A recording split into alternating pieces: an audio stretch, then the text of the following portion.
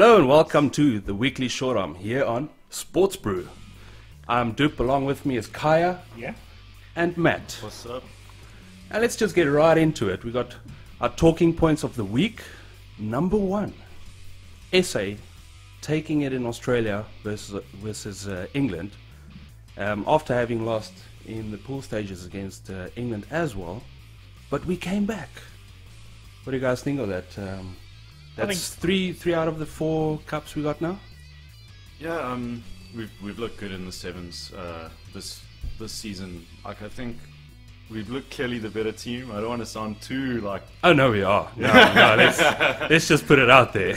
yeah, yeah. We we've looked good and we look very good in this tournament. Um, defensively, we're just better than everyone else at the moment. Um, I would I would probably say yeah, our, our defense is pretty good, but I would say our attacking firepower is just far superior at the moment.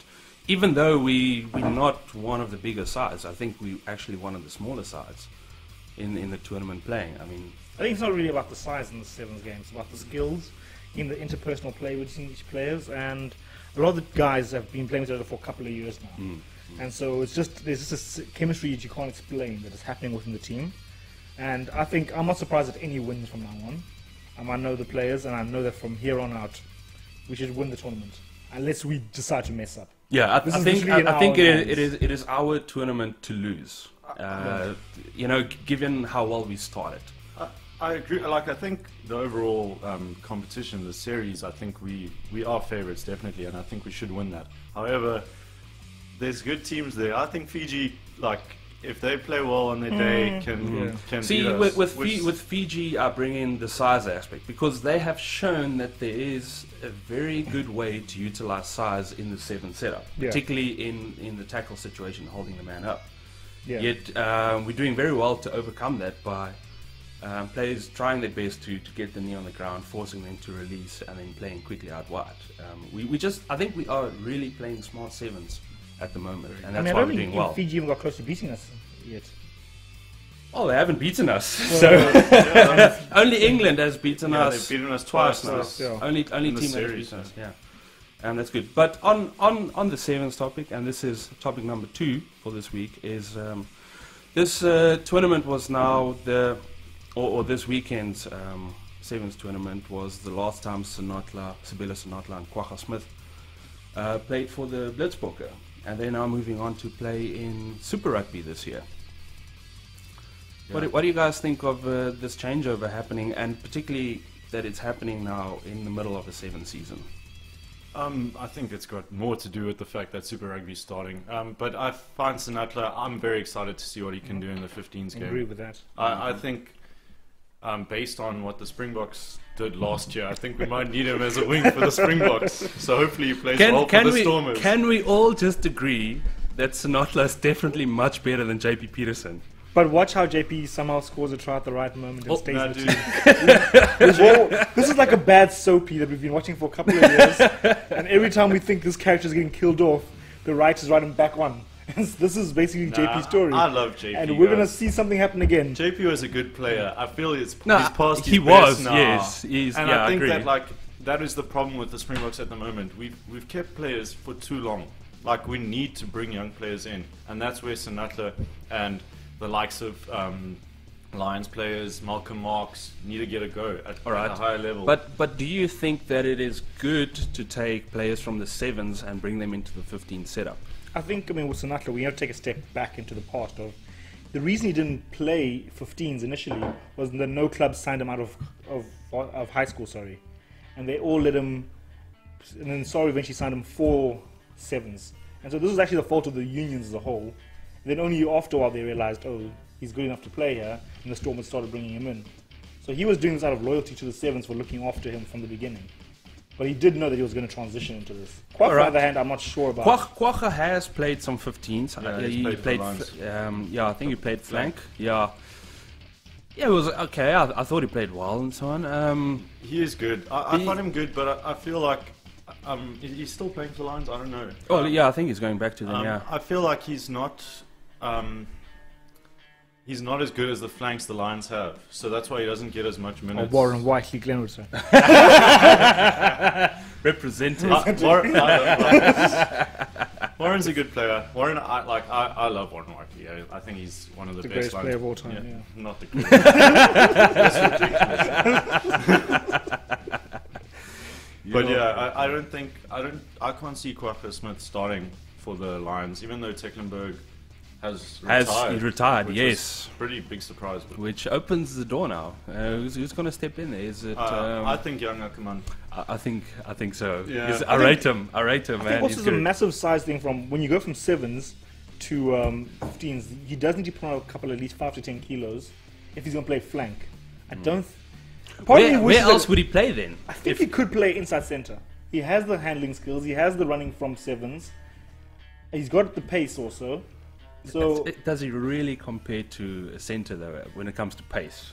I, I I'm, I'm a little bit curious. I've seen him run against some of the top guys in sevens and done really well against them. So I don't think he has very good pace to burn, but I, and he's got the skills. I just think sev- I don't think he's going to work out as a flank. I'm not. Uh, I'm not the biggest like fan of the size argument. I think if you're good enough, you're good Oh, enough. yeah. And Kwagga Smith is a good player, and I think he's a good flank. I just don't know if he. I think he's better at sevens than he is at 15s, but I don't think he's good enough to start. I think he will get game time in Yeah. Super Rugby, although he's got competition with the youngster Cyle Brink, who looked Yeah, who looked yeah. good like when he Yeah. got opportunity last year. I agree with you there. I I actually think that Kwagga would be much better utilized in the 7 setup than going to 15. Yeah. Senatla, on the other hand, I feel that We need them. we, we, we need some quality wingers, and there are a few guys showing their hands, but we've seen what Senatla can do when there's space, and his vision, I think, is probably much better than most of our wingers. Yeah. Um, I, I would personally want to see him get a shot at the green and gold, uh, just to see what he can do at international level when it comes to. Surely he must be good enough to have played sevens at international level for so long. I don't really Surely see any like good competition in front of him right now. Yeah. I don't. I think. It's basically only Habana at best that could stop him from starting. I, But I he's like, I Banner's like- old man. Make way for the youngsters. This is this is most likely still the Allister Coetzee, um, like a holdover. So this could still happen, and I still believe he's going to keep Habana in because of you know best bud from back in the day. and he's going to keep Pietersen in because it's um, you know the veterans, the experience and the No, I calmness feel like they bring. Pietersen was going to slip on a banana somewhere and hurt himself. But No, before he, before he slips, he's going to have another man of the match performance. Yes. Some- somehow. No, I, I think um, the the best wing option other than Senatla is Combrinck. I think Combrinck is the best wing, but I but they do play 11 14. I think Yeah. Snatcher's mm. your 11. You got Combrinck on 14. yeah. That, You that got sounds very Rohan at potent. 12. Ooh. I don't know. maybe Francois Venter at 13. You got a solid back line. yeah. Uh, and then Um, Pollard's back at 10. Francois Venter at 13. I, I would really like to see Rohan and Francois Venter at 13. I think that would be With good. Pollard at 10, it's perfect. Yeah, I, I would like Mapoe to get a chance with Ron inside mm. him because I feel like De Allende wasn't really distributing the ball well enough, and I think going forward, Venter for me is the number one choice, but I think we need people that are good backups, and Mapoe I think is a good center, and he's Alright. shown at Yeah. Super Rugby level. Before I don't think he ever was given a proper chance. Yeah. Yeah, before we di- digress too much away from the sevens, one one last question regarding the sevens. Now that Senatla and Kwagga Smith are leaving, how do you think it would impact South Africa's chances at pulling through the sevens series um tournament? I think losing two players that good is going to affect your team. Uh, but I do think we have the depth and we have the quality to, to keep going. Um, I think, like I said earlier, I think we, we must be favourites to win um, the seven series. But I think the com- the top, like the, the rounds are going to be close. I don't know. There, there's a long way to go. Fiji, England looking good as well, but South Africa, I think they're a step they're a step up at the moment. But we'll see how that this affects them. Yeah, I think it will work out for them because I think the, the replacements they brought in, like Shakes, he's got the pace, got the skills, and what they, they do have a two year program of basically getting players up in the 7s Mm. So they have a very good replacement program. Which, I mean, wouldn't you love it if Saru had the same similar program for Oh yeah, players? oh But, yeah, yeah, hey, yeah. I think Cecil Afrika is back for the next uh, seri- leg of the series as well. Right, He's right. been That's injured, right. and he's obviously Cecil's a Yeah. beast. Oh, in yeah, sevens. yeah. I love Cecil. Cecil. Uh, but but can, can you can you think of like Hall of Cecil, Fame. Branco du Preez, Justin Geduld? Guild. Oh man, oh man. Kok's good. I think he, he's. Yeah, Yeah. Kok is working Yeah, well. I, yeah. I like. I think our setup is so good that even though these two players are critical, I think like it's We can we still- still got the depth. And I feel like the they were preparing for this to happen. Yeah. Yeah. they knew about it Yeah. since the beginning of the series that Senatla is going to stop after this leg. Definitely. Right, number three. Um, the Six Nations, Scotland upsetting Ireland. From the bat to the finish, they just dominated, man. I Taking the victory. I think dominates the wrong word. I, I, No, no. I mean, I'm, I, I, I, I like the Scottish man. I have to, I have to talk them up a bit because they they've had it rough for a long time, and they're showing flames recently. I think Scotland has improved a lot. Um, I think Ireland let themselves down yesterday. They had a dominant scrum, Yeah, extremely dominant scrum. and I feel like they wasted opportunities. They let Scotland get a, a lead early on, and they couldn't come back there in the second half. I mean, I give props to Scotland. I think they played really well, but I feel like Ireland might regret this loss if they were thinking of competing to win the Six Nations. Yeah. Because although Scotland did well, I, I don't think they've got the depth and the ability to win the Six Nations yet. They could win a few more games, I think they will, but I don't think they're going to win the Six Nations. And Ireland, I thought before the game, I thought they were definitely one of the favourites, other than England, obviously, to win. I think the thing I want to say about the Six Nations is it does feel like most of the teams can beat each other, um, which doesn't doesn't happen down here. No. So you could find that I mean even Italy's improving dramatically with a very young team. So I find like Scotland's been coming up for the last few years slowly. So this was coming, but I think Ireland came into it very arrogantly thinking we can take a nice little stroll over this team, and then the problem is that when that happens is when you realize that you're not winning and you're trying to kick into next gear, you just can't do it. And they just kept trying, kept trying, and Scotland was ready for that. But it is true, there's, there is really no depth in Scottish rugby, and they're always just one or two injuries away from everything going down. That's that's the the difficulty they always have with Six Nations is that they have a couple of injuries and then they really really struggle.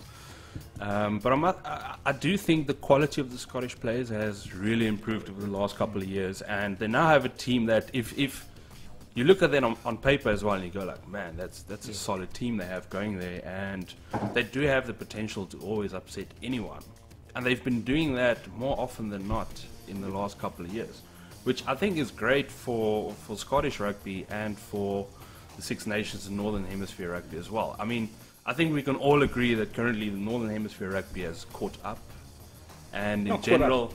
This Eh, New Zealand. Yeah, but but New Zealand is not of us are in New representative of the entire Southern Hemisphere. No, like they, they are beating more of the Southern Hemi- Hemisphere teams as of late than what they used we to. can't count last December with South Africa. Yeah, no, we we're not going to talk about that. you know, so um, No, I think a good, good Scottish team is good for rugby in general. The, the more teams that get better and are competing at a high level, it's better for global rugby, better for World Cups. Yeah.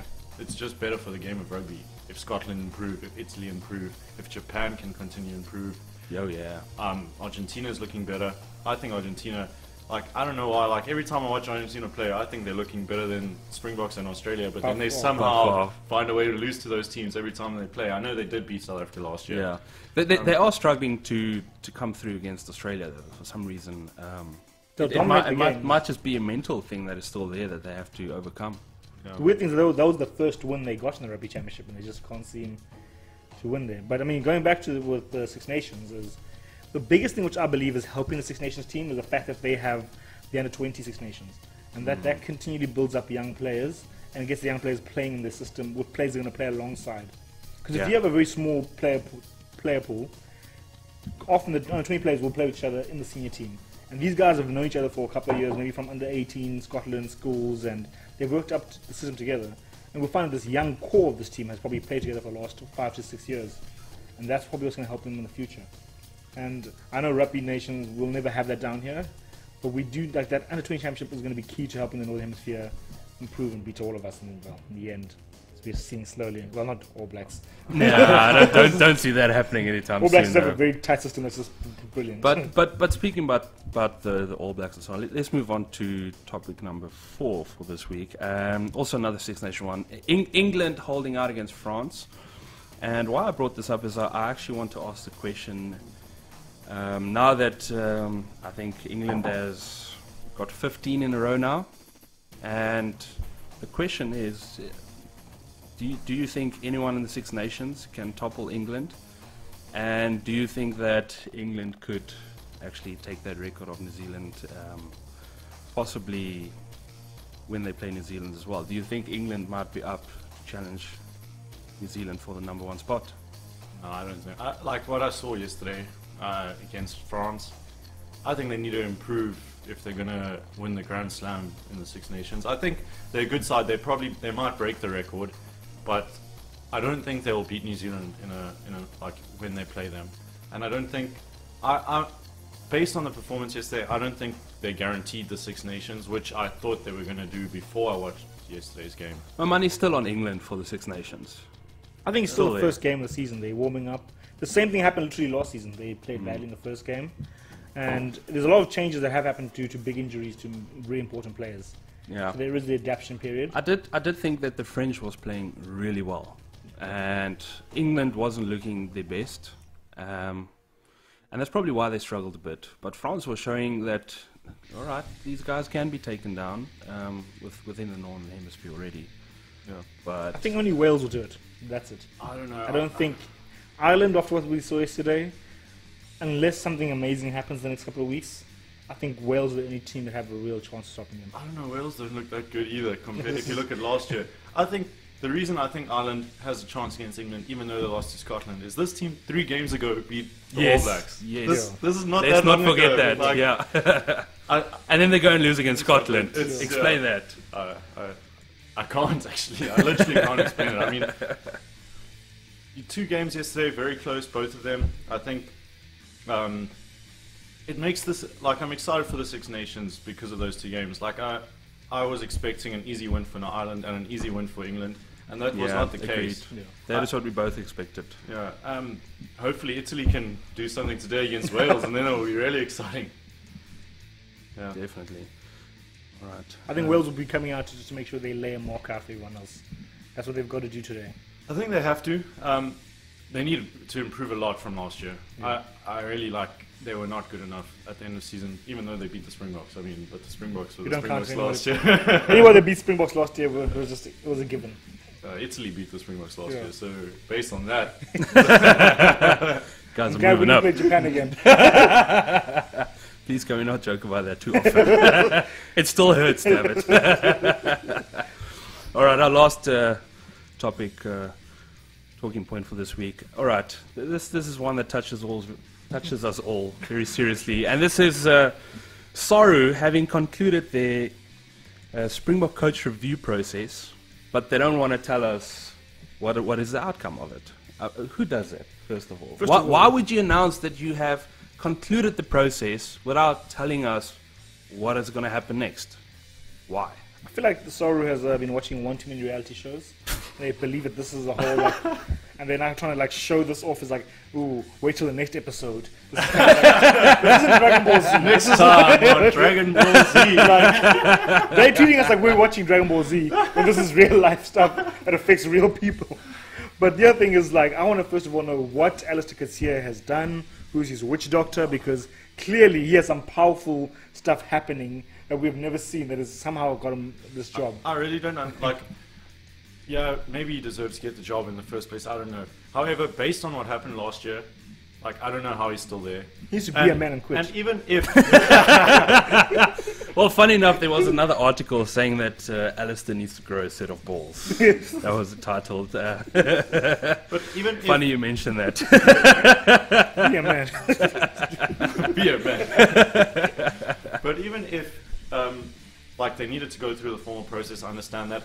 This should have been done last year.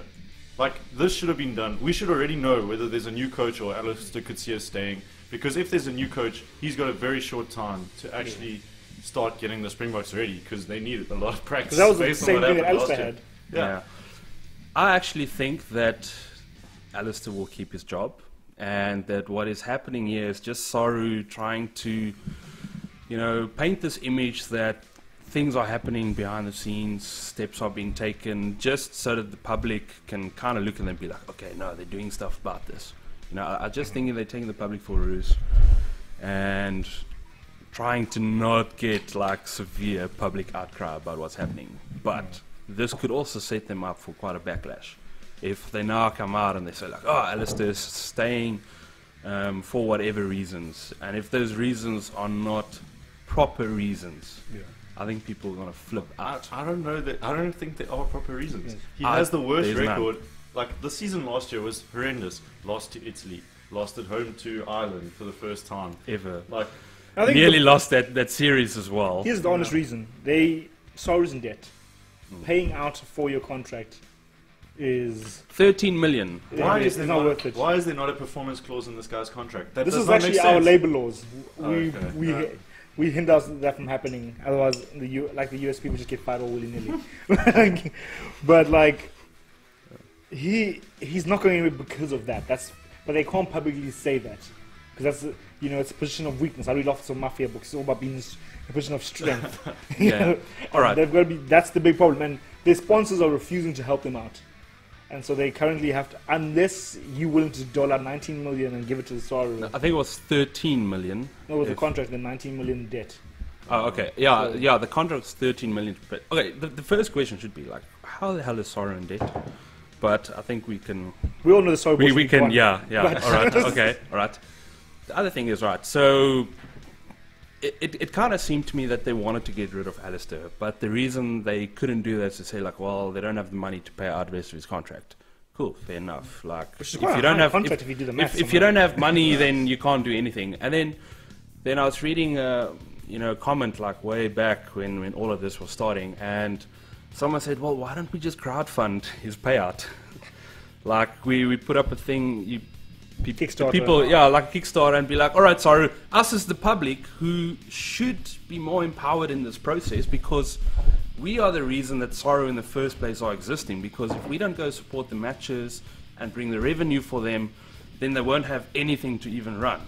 You know, like I mean, so someone's like, It's, well, a, it's an interesting concept, but I know I wouldn't be paying to that fund. I feel like us buying jerseys, us going to the games, us like watching on TV is generating them enough re- revenue to do their job. So I'm not going to bail out Saru to fire a coach. That's their problem. They need to sort this mm. out.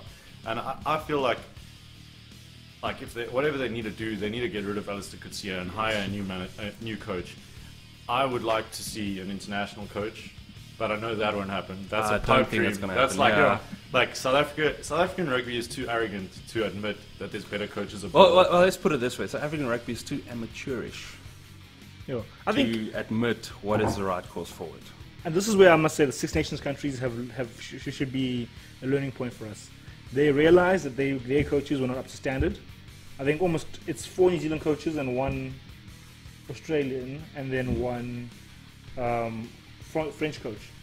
That is they realize, fr- the French are like us. yeah. They're like us. Even they though don't want anyone who's not French. Yeah. But like those four teams have improved so dramatically. And are we gonna? We had John Mitchell begging us. Yeah. He didn't take him. We've had. I think before he went to, I think before he went to England, Eddie Jones was probably keen on taking South Africa. Yeah. definitely. And we probably had this great coaches just sitting around. There's Robbie Deans who hasn't done anything for like two years. There's amazing coaches out there who are way better than what we have right now, and we need them to be in. But will they? But the other problem is they come in, they're not gonna get the freedom that they would get somewhere else. That is another problem that So- um, you know the coach that would come in has to face.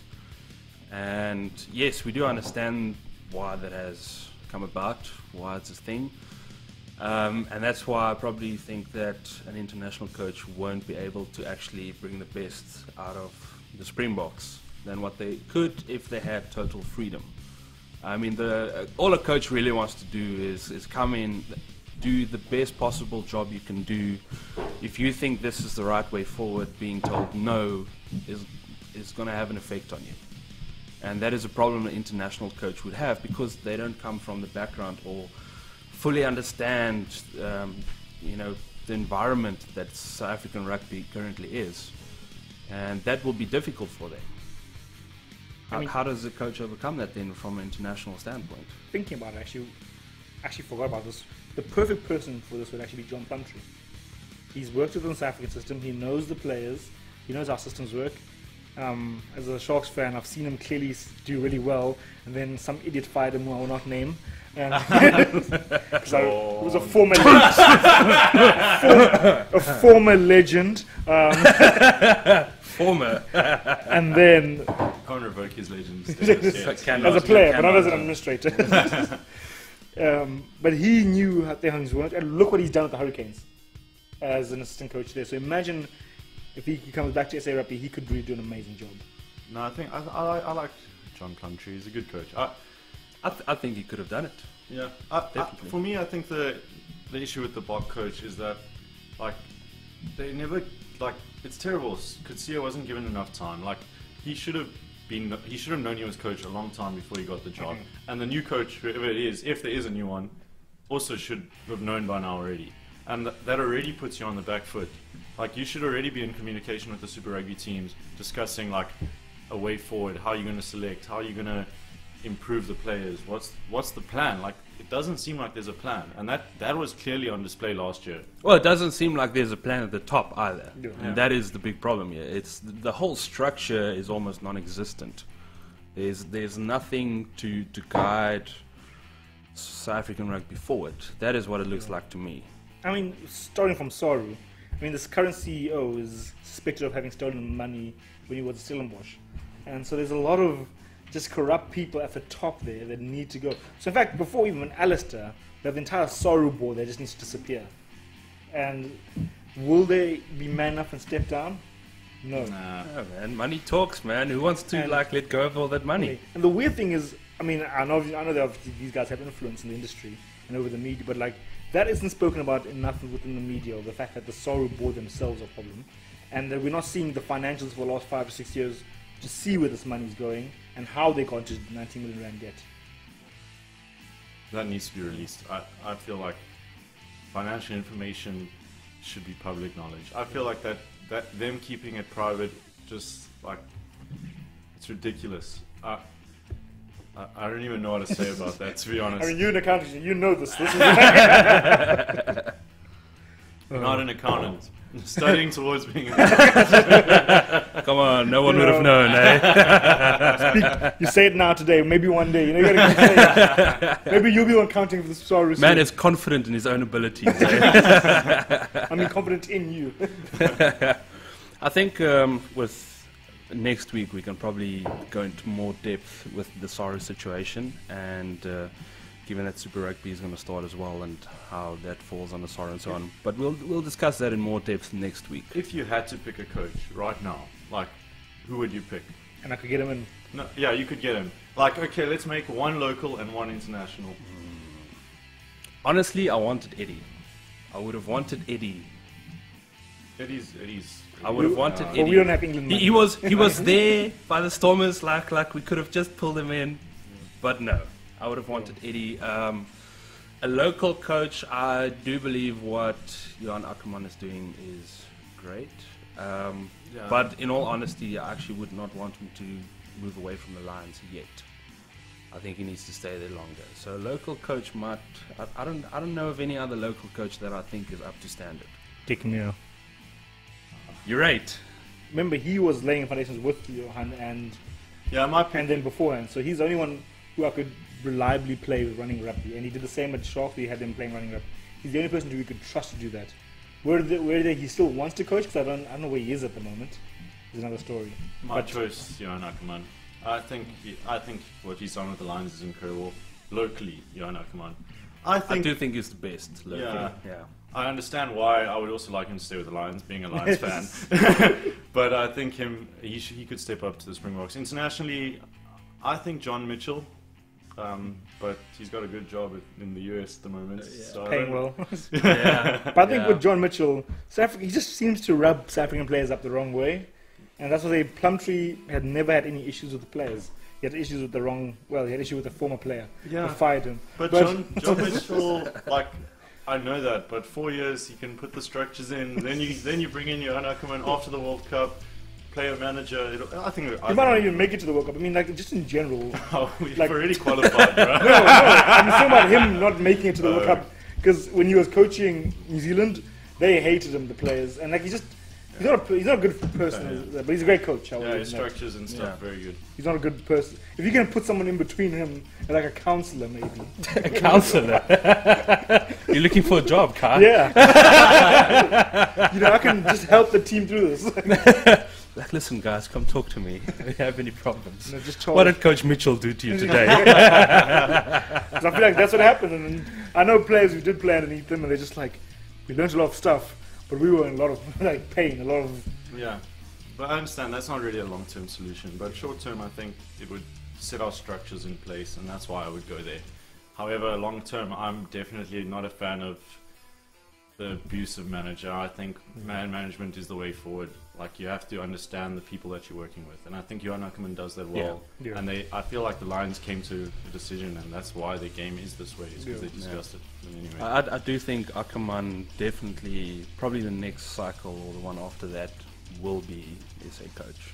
I I, do that- think so. I mean, looking at up and coming coaches, I mean, besides Aaron Huckman, I gotta say, we, Nollis Marais is definitely coming up, and he seems to have changed things a lot at the. appreciate you guys. Sorry, wrong guy. Yeah, that, that's their fly off. I'm Sorry. like, I'm just waiting. No, that's Neil Murray. no, who's So the guy? many The Bulls coach, Oh, and He's also really- there's, is it not, uh, the one who did the, Cur- the Currie Cup. He did a really good job. yeah, and but him and the he- yeah. yeah. up and coming coaches who we need to develop and make sure that they. I think that's part of the problem is we don't really have that many up and coming coaches Yeah. coming it through, and that's a problem with South African rugby structure at the moment. I think that- we do have an up and coming coach, and this is going to come from a very uh, Glenwood point of view. no, but he's good. He, he's shown it. you don't need to put it that way. is a guy called Sean Erasmus, who's currently the head of rugby at uh, Paul Roos, who've been undefeated Three for three years. years. which we all know in high school rugby is basically impossible. Yeah. And yet he's gotten absolutely no offers for higher. I know. I do think, um, from what I heard, um, the Stormers were trying to get him into their setup, but um, what I was told is that his wife just kindly asked him if he would just finish up at Paul until their son finishes up primary school or something. I, I'm not too sure. I heard it from like an inside source.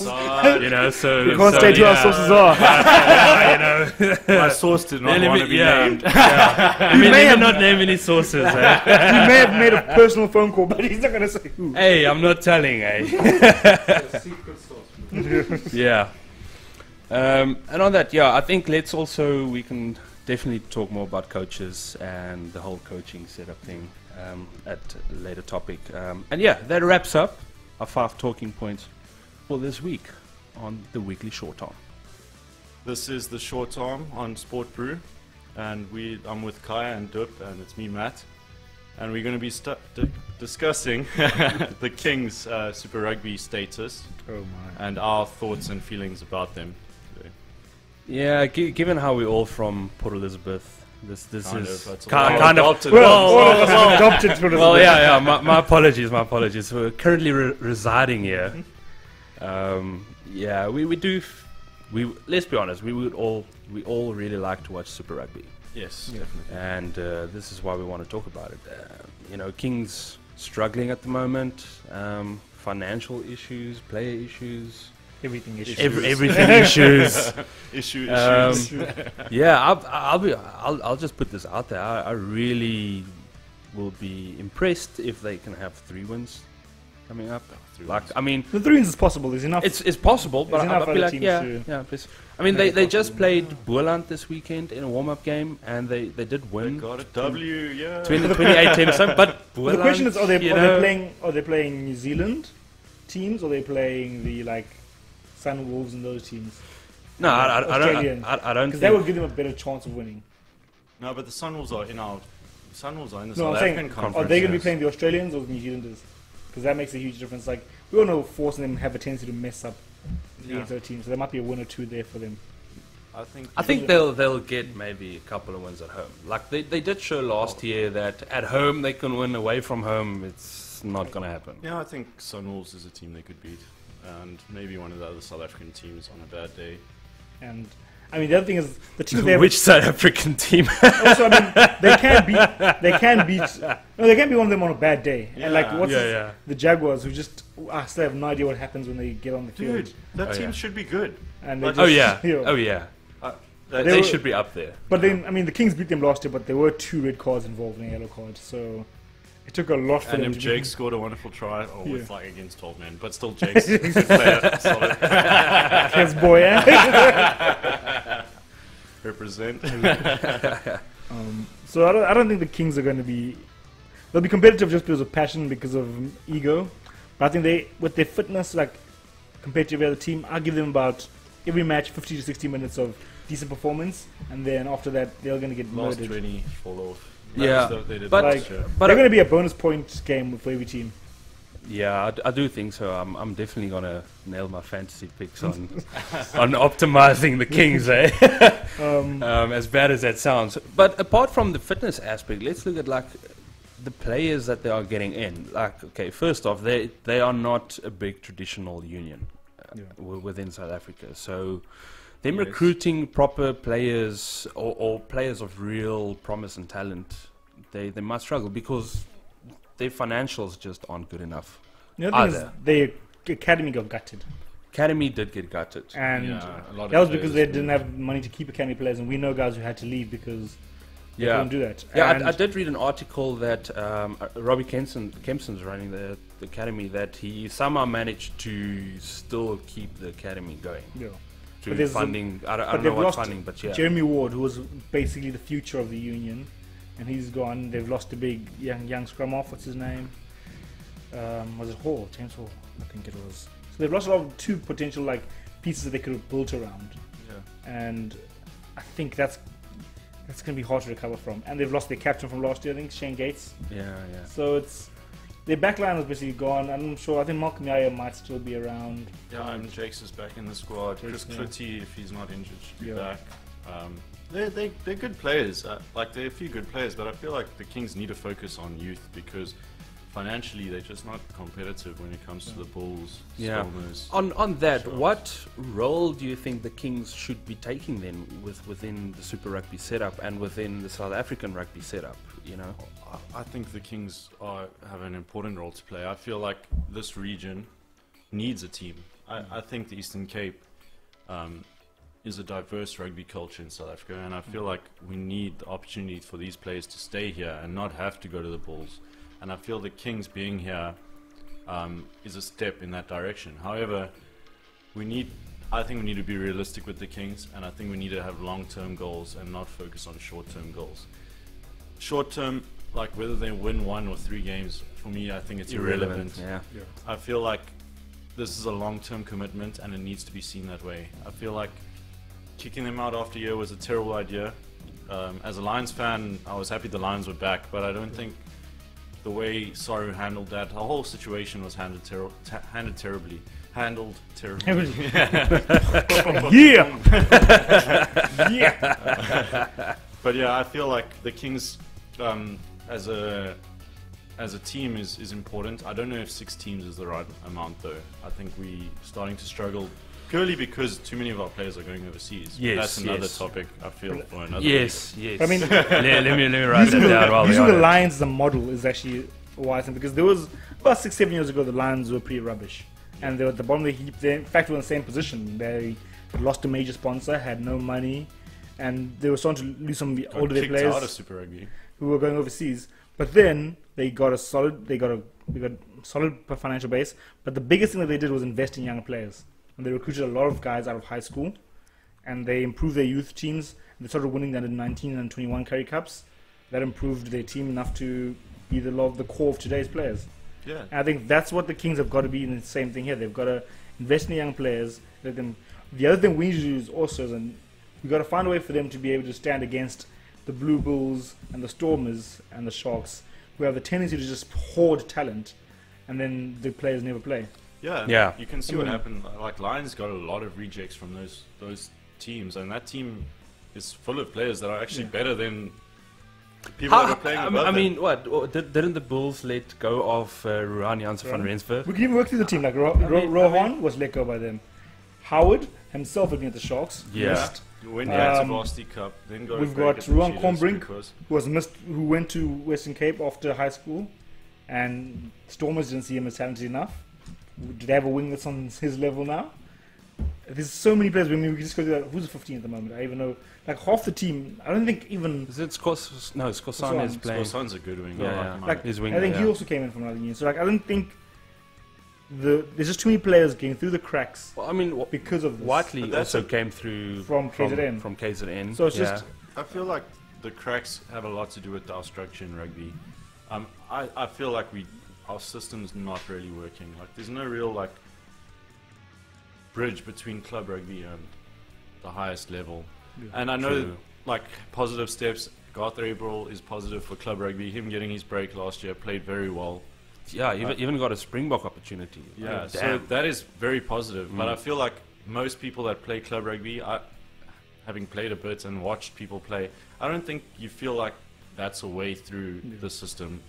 I think at the- the moment. The last time that really was the way through the system was when Dick Muir was coaching at the Sharks, and he he went to club rugby games to look for players and bring them up, and that's where we found our favorite JP Pietersen. and many other players. you laugh, but that's how they were found. yeah, like, yeah, no, it no, was I know. club favorite games. player. Yeah. He's definitely our favorite player on the show. Eh? JP's a good player, guys. 2007 World Cup. That no, I'm tackle- not taking it away from him. Saved. That, I, I, I that give World it to Cup him. was over, guys. I We're- give it to we're him. gone. I, I give it to him. 2015, he doesn't score three tries in that first game. We wouldn't have had to deal with him for the the tournament. Yeah, but he did yeah. somehow. But Okay. like I'm saying is, there is that thing of, like we don't have our players. The players, the clubs and the unions basically want to return on the investment. So they will Yeah. keep forcing the players they've signed already to stay in the team. Yeah. And this happened a few years ago. I mean, when there was at the Stormers with Louis Schreuder and Nick Groom. Nick Groom was outplaying Louis Schreuder, but Louis Schreuder was being paid more, and they kept him continuously just because of that. So that's the- the other problem with SA Rugby. They just keep the higher pay talent. But that is the, the question then. How how do you get the Kings to be able to retain talent within the region and then also be able to poach talent from other reg- regions? Because let's be honest, it's it's poaching that's going on at the moment. Play, players, young players, are getting poached from other regions um, through money. You know, as simple as that. So so how how do we bridge the gap? And and let's be honest, when when you look at the schools here in the Eastern Cape, they are top schools. Um, Powerhouse schools. powerhouse Dale- schools, looking Dale. Good, Yeah. Dale. Good, Solon. You know, so so how do we keep these players here then, and, and kind of bridge the gap towards, um, you know, the Kings? Because I, I do feel for a young player, if you are looking to make it to Super Rugby, the highway is to the Kings. Yeah. That's that's the truth at the moment. You I go think- to the Kings. yeah. That's your fastest route, un- unless you are a superstar, and the other clubs want you.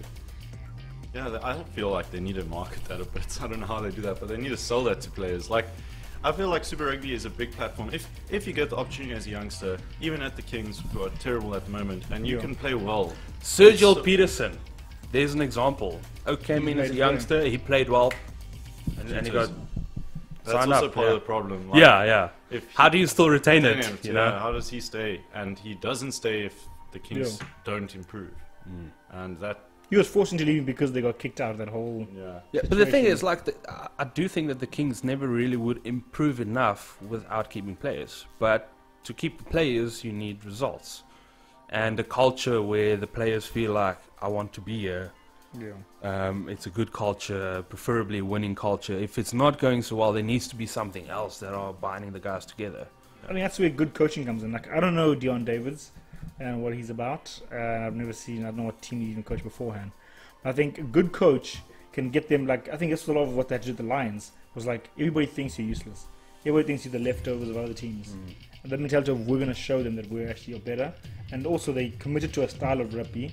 And they said, no matter what happens, we're going to play this style. And that's what the Kings need to do. They need to say that's, and then they need to build a community uh, with the community. Like the first time the Kings were here, I felt like the whole of PE was with them and behind Oh, them, yeah. and they had a, they had a strong link with the city. That hasn't that hasn't happened. That first year, and stadiums. I'm also seeing the Kings going to schools. Maybe they are. They they're not going to. Need to go to schools around the region. When I say region, I'm not talking just about Port Elizabeth and maybe just Grahamstown. They need to go to schools all around the Eastern Cape No, Eastern Cape. and yeah. just Mm. and build a strong culture with that. yeah, recruit yeah. from within that. Yeah, speaking about that, I mean, l- let's just um, switch over to the Varsity Cup at the moment with where NMMU's stadium is currently undergoing uh, construction. Yeah, we've been having And- construction for years. Yes, yes, but we won't talk about that. Um, so now the the Madibas rugby team are their home games are being played in different locations outside of PE, which I think is great. You know, like like rugby is bigger rugby is being taken to the outskirts and the smaller regions, and yeah, that that outreach can be very good. I feel that this could really benefit NMMU rugby by them going out there. Showing to, to the locals around, like yeah, and they started off well this year as well. Let's hope Yeah, they they can continue. They they thrashed UC, UCT, um, got some momentum now, and if you go out to the districts and people can see, wow, you know, like this team is representing us as a whole, because NMMU is kind of representing the whole of, uh, almost the whole of Eastern Cape when it comes to Varsity Cup rugby. You know, and that's how you garner the interest and people want to come and play. I feel like NMMU and the Kings seems like a, a natural fit, being based in PE. I feel like the academy. They they do have links with that. Um, Very poor links, though. yeah. No, no, I, I won't say very poor because um, a, a lot of the varsity cup players are at the academy. The the academy uses um, That's only a very the, recent. the thing. fields at MMU. Yeah. Trust me, I know about that. So you rock up to go do training, and then Sure. you don't have a field because the academy oaks are there. So so there is a tie, but I, I don't know all the details about that. Um, but maybe that's not enough. I don't think it's strong enough to. in terms of. You look at the Sharks; they've got a very strong link with, not the Sharks. I mean the Bulls. the Bulls have a very strong link with uh, Tuks. Tuks. and that's a very and the students are going in between the two. Stormers and UCT and Stellenbosch, very strong links between those three. So why can the same not be done here, where they Yeah. actually have a much stronger link, working together, and they can find varsity players who can go Yeah. up. But see, that that has now happened from I think it's the last nine years. I mean, Varsity Cup started in 2008, if I'm not mistaken. So they have now forged a new route for young players to get into the system if they weren't already recruited directly from high school. Now you go to university, it's got a Varsity Cup team, you get noticed there, and you go up. That is the route that has now been forged. And to me, it looks like okay, they're going left, Varsity Cup and club rugby and everything else is just sitting on the side. I mean, there are still great players in the club system. Yeah. I'm not too sure how they fall But they've got the within the community unions. cup for that, and that's what they. Trying to yeah, they're bringing that back community cup. now, but I don't Well- think it's there yet to really get that interest going for it. Clu- clu- if club rugby is strong, like really strong, all the other rugby will be really strong as well. The problem is like a lot of players, like back in the day, you would if you didn't go to union and meet out of high school, you would go play for a club. A lot of because of how big unions are now, you can still thrash it out there for a few years. Yeah. And if that doesn't work out, you don't go back to your club; you just go overseas. So that's the other problem. Like a lot of quality players aren't staying back; they just choose to go overseas or they just also- give up on rugby. I also feel like the club system, because the club system's not working, a lot of people won't choose to play in it. Yeah. Hmm. So I think we need to overhaul that. We need to get like it reinvigorate it. We need to just we need to get and it needs to be a potential way to Super Rugby. Yeah. The clubs need to EP, for instance, should be involved in the, the Kings should be involved in seeing club rugby and seeing that people are developing and these clubs need to be supported, funded. Yeah. The league needs to be organized better. Um, Yeah, I've, I've heard that um, some of the league things haven't been organized as well. Especially down here. Yeah. It's, it's horrible. Uh, when you said, I, I, I don't think we, we probably know too much of the details know of how much they are involved, but I mean that that is where certain structures are coming. Like the first thing that needs to happen is EP Rugby should take it upon themselves to go train more coaches. I think you Yeah, know, like that. That should be step one. Is let's go train coaches properly from grass levels. There probably is a, a program in place for that. Might not have been there for long enough. I don't know, but I think they should start there. Um, if if you have good trained coaches in the right positions, there will be a little bit of a time lag. But you got to look at the long game. You Yeah, cannot look at the term. short game. And when that talent comes through, you're gonna milk it. Yeah, exactly. I think the Community Cup isn't marketed as well as Varsity Cup. Mm. I feel like if that that also needs to happen because I think it is. It, there's some good rugby on display. It is on SuperSport. Uh, Yeah, the- the most of the matches yeah. get. The- I think the, Community finals, Cup is only the finals or yeah, the it's the final semi-finals. Yeah. of the club. Yeah. Give give them more exposure. Like just giving people exposure But is an incentive as well. But then that's the fault of the club because the reason you watch the Varsity Cup is because it's linked to your university, and you go to the university and you have something that you link to it. Yeah. Whereas your, whereas back in the day, like The, club, was the community. yeah. Yeah. Whereas now there's no link between community and club. Mm. And so the, all the clubs themselves actually investing in the communities and trying to get people from the community into their games. That's the big question. And you know, I mean, we spoke to someone, you spoke to someone earlier this year who was talking about trying to make the club games more of a family environment. Yeah, Because they, I think they've noticed that. yeah, And that's they- probably one of the failings of clubs. They don't have, they don't have the communities involved. Because honestly, unless a friend of mine's playing, I generally would not go to a club game. Yeah. Yeah, yeah. Which is sad, man. Like, I mean, grassroots rugby is, is fun, you know. Like, it's Yeah, like guys literally just playing it for the love of the game, you know, because they just want to play. I love watching rugby like that. Yeah. Even, even though, Like like, rugby is a lot of fun. when right? you're like, oh, okay, the, the standard of rugby is obviously not going to be as great as some some of the other rugby on display, but that to me is what makes it beautiful in its own way because you know that's a person like me, you know, just trying to, to do what he loves as best as he can, and that's what makes it exciting. You Yeah, know? it's a, it's a lot of fun. Uh, I think there's a lot of there's a lot of good players at that level. I understand there's a lot. It's a lot more open the game, a lot more errors, but like it's it's really enjoyable to watch. Like I've I've watched quite a bit of club rugby because I used to play, um, and it's it's fun. I, I I think a lot of fans like I think you could get people involved by having like braais and whatever around this, the venue.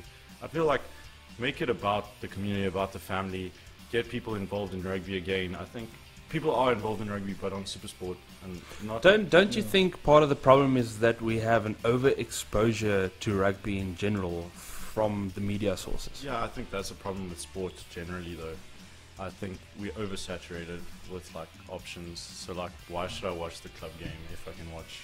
But I think we should learn from um, football there, where it said the same thing again. Like football club, look at like England and all over the world. Like they, because of the, the like the depth of the community, the connection that they feel to the club, they continue going out every single game, That gees, regardless. yo, And we need gees, think- Owens. like the re- like you watch African like rugby stadiums, and when you're in the stadium nowadays, like there's no yes, guys are just there. Like oh, my team happens to be playing. I feel like going today to go watch the game. There isn't like a vibe from the beginning of the game where you feel the stadium is Yeah. going for. So Yeah, yeah. Let, a let, let's be across honest. the board problem. The the entertainment in the stadium is just the rugby match. There's nothing else to offer. Like you are paying money just to go watch a rugby match, and I think that is a problem. Um, tickets, pr- tic- prices of tickets have gone up, and you're like, well, I gotta go sit there for let's say three hours because you got to get there before the time, find your Yeah. seat, parking, whatever. Quite often, the And what else is on offer? The Not experience much. you get quite often is better at home. Mm. Like often, like I enjoy the stadium. Like I, I like going to watch live games, but like on my couch at home, super sport, braai, couple of beers, like Yeah, that. yeah. chill brides, right? Exactly. no, I agree with you, and and that was um, one of one of the problems that, that people have raised is that you know there, there's nothing else on offer, and and that comes to what the community wants, making it more of a community thing. Shouldn't Yeah. just be the rugby; it should be. You know, almost a whole. You could you could make it a whole be a day whole day event. you know, yeah. like like things leading up to that main match. People coming, they're having a good time uh, excitement's going, and then like, okay, now our team's going to play, and then you know people in the stadium, and you have a jaw at the stadium should be what enjoying the game. yeah. That is what should happen. Now it's like you go to the stadium, you rock up, you watch a game, you go home, or you then whatever, wherever you go. Come on, you know, like I, I personally would want more out of the experience. If, if there's get local bands involved, you know, like you can, you have this platform where you could really engage with the community and Yeah. for the benefit of the community and, and other parties through that platform by, by just coming together and saying like, well, how can we help each other? Yeah. You know, there would probably be people willing to help the union um, make it a better experience, you know, for relatively cheap or possibly even free, you know, and then in return, you know, the union is providing this this stage or this platform of Yeah. getting recognition or advertising through them or so on. That can be a win-win. I think it, like price points also critical. You need a like price at the moment is important, and I think they overcharge. To be honest, like I would rather have a full stadium at a lower price than a half full stadium Yeah. at, at, at a full price. And I understand why there's a lot more financial issues at play, but like from mm. a purely fan basis and a and a s- like rugby basis, like it's good to have a full stadium, and that can easily be achieved by reducing prices, even if that means that you might not earn as much money in the short, in like the long term, you could increase the price again, but you need to get people watching before. If the, like, before you increase the price to a point where people don't want to go, I, I don't know the pricings for this year, so I can't comment on that. But I feel like, as a student as well, Yeah. like there's only so much I can spend my money on. Like, and if it's too expensive, I'm not going to go. I'll rather.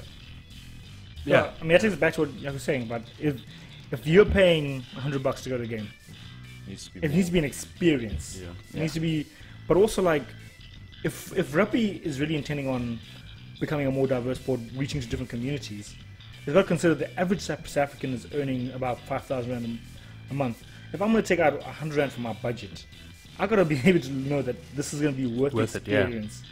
And like one of those experiences, because this is what often you you read about people like, oh, I went to the game with my family. I remember from when I was a young kid, and the experience is what was made it worth it. But now you, let's say your your your, your nephew comes and you take your nephew to a game or something, you don't have nothing for them to remember. There's not mm. even face painting. There's not even anything happening. It's just like sit here, watch the game, go, Yeah. And it's got That to exactly that.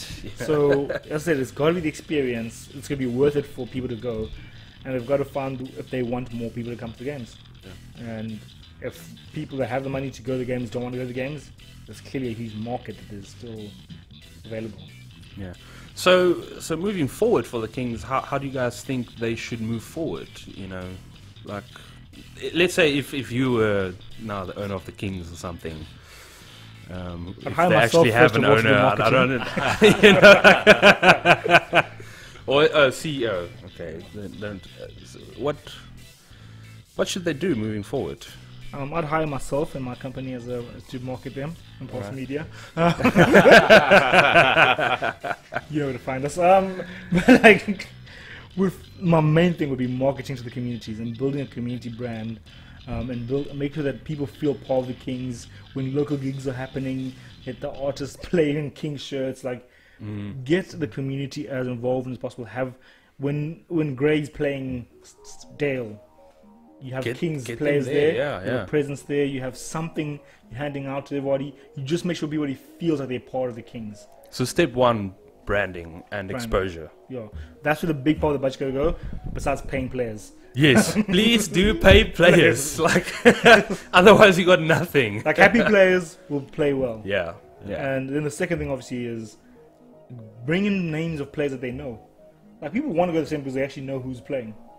Yeah, So- but it also is marketing. You need Yeah, to yeah, market yeah. the players. And, and you know. also, if um, that, that comes Start down to local players. Yeah. yeah, the local players that come from here that people can identify with. You know, like wow, I went to school with this guy. You know, like oh, I played against this guy when I was young, and he's playing here. That generally does in, uh, generate a lot of interest. Yeah, and I feel like there's a lot of good young rugby players at school level here in Eastern Cape that should Yeah. get a chance through the Kings, and that's what I would do. I would focus on getting young players from school into the academy, which I don't know how that's working at the moment, Yeah. but getting the academy running properly so that there is youth coming in, because that is going to be a cheaper way and a long-term plan rather than hiring a few expensive players, which will might in the short term be better. You might get a one win Mm. or two more wins, but I, I think youth development is key. And like I said earlier, let's not focus on the next three years on wins. Focus on Yeah. Developing a better team and a better brand and a better experience, and then the team. Like I feel like in two or three years, with three years of playing with young players, they all have the confidence to play better, and that'll start to improve the team. And once you have a good team, people will want to come to the Kings, Yeah. and that's where you can get bigger names and likes of um, any like I don't know like any player that Yeah. that's not would choose the Kings over another Yeah, club, potentially possibly. even a couple of overseas internationals that you could bring into the setup. You know, like that would really a, a big international name would generate a lot of interest, and would also be uplifting for the players playing with them. But yeah. Mm, Yeah, I think bringing in one or two experts to help out. I mean, I don't know where he is in the world right now, but you have a guy like Rassie Erasmus to be a consultant of some sort. Brendan Venter, You know? the, the consultant expert. I, know he's doing medicine right now, but uh, you know, bring back the doc. make that make that thing hashtag bring back the doc. I'll, I'll, I can be the new doc. Not the same doc, but you know. It'll look good on paper at least. yeah, what what else? Nothing else you can say. Yeah, I think that kind of kind of got today. I think that's what the Kings. Uh, all the best to them. But Yeah, they're, yeah. My, they're my second favorite Super Rugby team. Yeah, so hopefully um, they can improve this year a bit. They're about fourth or fifth for me, but you know. I'd, I'd say probably third for me. They're up there. Like they they're the local team here. Like I am definitely gonna support them. Uh, when they are playing here and overseas, I'll always support the SA team. I'll But but game. but if but if they play against my team, I'm sorry, but no, not gonna happen. No, my only team that I'm a Lions fan through and through, but other than when they play the Lions, I'm supporting the Kings. you know, when, when they play the Sharks, as long as the Sharks give them 50 points, it's not about the W, eh? it's not what the It's about how you got the W, eh? I wouldn't The be Lions might give the Sharks 50 points this year. What happened the last time you took a? You thought your team was going to beat my team. Oh. You want to go there now? Chelsea. You want to go there? This is a No, rugby like show. he's- I'm just saying. I was trying to send out a reminder. Alrighty, alrighty. Is that it, gents? Thanks. We have that awkward end of a phone call moment right now. Yeah. Like, Don't you hang up. Okay, let's do it together on three. One, two, three. Bye bye. Cheerio, chaps. I'm gonna go for cheers, man. cheers. And once we once we got the the brewery going, I have a proper cheers. Oh, cheers, mates. And be like, uh, that's that, folks. You know. Yeah. I don't know if our engineer already stopped it. Oh, No, it's still going. we thought it, we thought it'd be done by now. So I'm, like, I'm, I'm waiting for We're Matt. I'm waiting for Matt to, to finish it. Yeah, I'm waiting for Matt. I'm like Matt. That if you Uh, started, shit, you gotta finish it. okay. All oh yeah. Oh no, it's a learning curve. It's Yeah. chilled. It's chilled. Um, thanks for watching. Look at the camera, bro. Thanks for watching the topic of the Kings Super Rugby team. Oh, whatever happens, happens. I don't know. Next week we'll discuss Saru. you know, Sorry, yeah, coaching. Um, and if there are any Super other Rugby topics, preview. Yeah, we'll we more are open. content next week Big on big Super Rugby preview. Yeah, big Super Rugby review. And if you have any other comments or suggestions, things uh, that you don't know yourself, e- even like rules, things, That in, any sounded question. like game over, Greg. yeah, yeah. Just Yeah. comment below. Just comment below. The like and subscribe button is right there. Press that thing. Uh, we would I greatly feel like appreciate I it. need to work on that. hey, bro. It's fine. It's fine. you got your first cap now. You're Yeah. done. Debut. Took That's a Beauden good Barrett a while to get there, you know. Okay, sick, yeah. True that. True that. So yeah, we'll see you guys next time on the short time. Cheers. Deuces.